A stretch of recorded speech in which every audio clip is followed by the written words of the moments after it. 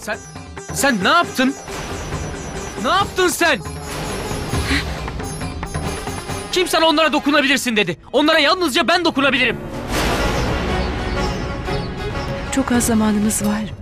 Nişandan önce her şeyi öğrenmeliyiz. Sakşi'nin sakladığı şey ne?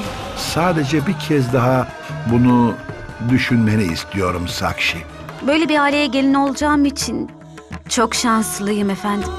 Onun dürüstlüğü için başka ne kanıt istiyorsun ki? Deli Divane yeni bölümüyle pazartesi Kanal 7'de. Sakşi! Sakşi! Ne oldu?